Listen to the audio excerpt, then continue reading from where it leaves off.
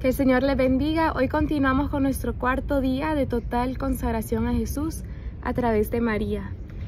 Hoy contemplamos cómo María cooperó libremente con el plan de Dios.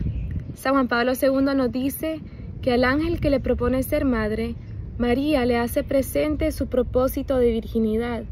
Ella, creyendo en la posibilidad del cumplimiento del anuncio, interpela al mensajero divino solo sobre la modalidad de su realización, para corresponder mejor a la voluntad de Dios, a la que quiere adherirse y entregarse con total disponibilidad. Esta última consideración nos permite apreciar la grandeza de la fe de María, sobre todo si la comparamos con la tendencia a pedir con insistencia, tanto ayer como hoy, signos sensibles para creer.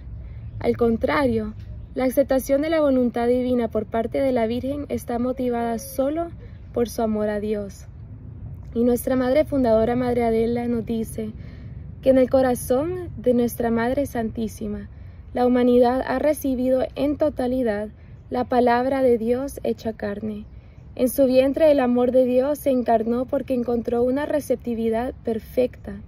Algunos corazones no han recibido la semilla, como San Juan nos dice en el primer capítulo de su Evangelio, vino a los suyos y los suyos no lo recibieron.